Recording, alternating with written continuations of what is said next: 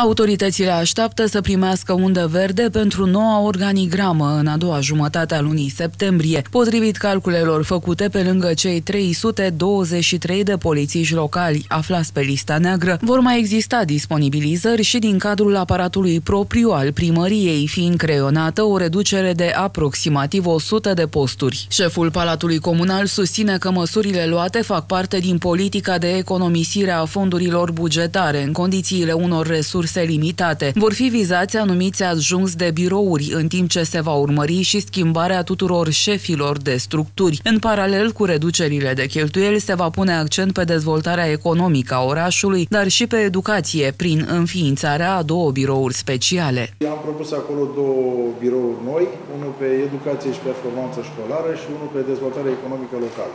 Așa cum am mai spus, cel de educație și performanță local, uh, performanță școlară Uh, vor fi nucleul pentru viitorul Consiliu pe educație, iar uh, Biroul de Dezvoltare Economică Locală va fi uh, nucleul plătit de primărie pentru Consiliul Economic de Dezvoltare a municipiului Buzău. Așa cum am spus, încerc să creez locuri de muncă în zona economiei reale și nu la primărie. Adică nu angajăm aici mii de oameni ca să cheltuim toți banii care se adună de la buzoieni și să avem situația care o avem în oraș, respectiv asfaltare zero, spații neîngrijite, verzi, lipsă de cimitire și tot ce vreți.